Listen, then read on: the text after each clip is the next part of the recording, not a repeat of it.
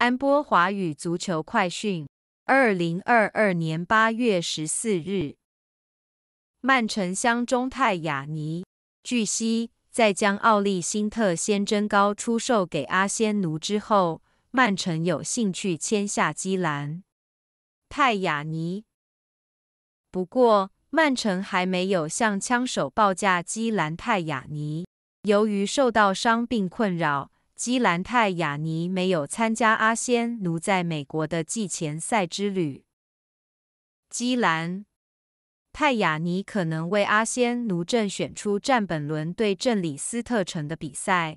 阿迪达确认，这位苏格兰国脚已经做好准备，在阿仙奴对阵水晶宫的英超揭幕战，基兰泰雅尼后备登场。他因为膝盖伤势缺席了上赛季最后阶段的比赛。